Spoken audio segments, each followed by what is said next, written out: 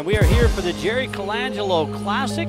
It'll be Liberty University and the Grand Canyon University Lopes. The Flames come in at 10 and 0. Lopes, of course, at 4 and 6. GCU coming off that overtime victory versus Mount St. Mary's 75-67. The Flames, and uh, this this number's correct, coming off the victory versus Trinity Baptist 87-28. Bryce Oakpo ready to jump center, and he wins the tip. Going against that pack line fits. They get Johnson cutting down the right side of the lane for the bucket. His first team first. 20 on the shot clock. Quick inbound. Jumper. Baseline. Good. Isaiah Brown. Good squad. Another three. And Liberty.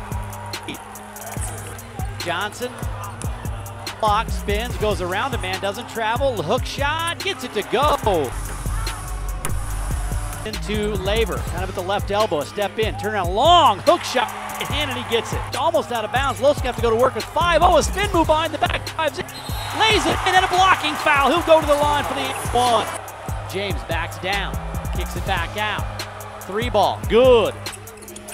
So mixing it up. Out of three ball. Far side. Good. Somebody missed that rotation to Jenkins. Right block. Spins. Shot. Good. Nothing but net. Liberty to inbound. They get it inside. Drive by Cuffee. The shot. Score it. Carlos Johnson gets it to Jake. Goes in, shot off the glass, score it. Competitive ball game here. Brown, right angle, gonna drive, gets inside, goes up for the shot, throws it in, and it scores. Give and go. Swatted by Johnson. Three scoreless possessions for Liberty. Got to capitalize on it at some point. Crossover dribble by Blacksher Jr. 35-30. Lever to answer for three. Homesley gonna drive. Working on Doobie, gets inside, reverse lay in, good. Down around a curl, back to Ollie, wide open three in front of the Lopes bench, good! Screen up top for Brown. Brown's gonna penetrate in, go all the way in, and lay it in with the left hand. No help defense. Blacksher Jr. stumbles, goes around McGhee, lays it up, lays it in, hits the deck, no foul. Over to Cuffee. Cuffee skips it all, all the way across.